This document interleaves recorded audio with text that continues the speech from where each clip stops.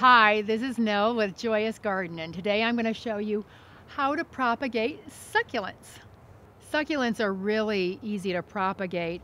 I just look at the plant and see how I want it to grow and then I take the cutting off of that accordingly and then I will cut the the stem or if, if I wanted this to be two I would do it in two in two stems instead of one stem there so you would get two plants out of that and what you want it to do is do it at an angle. I, I do my cuttings at an angle. And then you would let it heal over. And by healing over, it means like a scab. You let it heal. So it's, um, it's impervious to like any air coming in because succulents hold a lot of water in here. The stems are very wet. So that's why you want it to heal off. And I let mine heal off anywhere from three weeks to three months or I've, I've had some in a box for six months that have been healing off and they're still looking fine.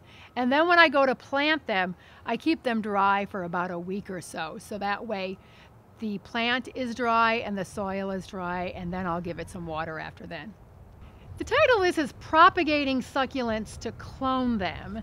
And how I interpret it is propagating the succulent, which in this case it's a crassula, and then I have planted some more over there. So it's like a clone of the plant. I'm not a scientist in some mad lab inventing a new plant, but it's just this plant in a couple years, the plant over there is going to be identical to its mother plant. So that's how I propagate to clone. This is an echeveria leaf which fell off and it just fell off into the soil and it put out roots and as you can see, there's a new little plant growing there. Actually, actually there's two of them. So you can also propagate off a leaf cutting.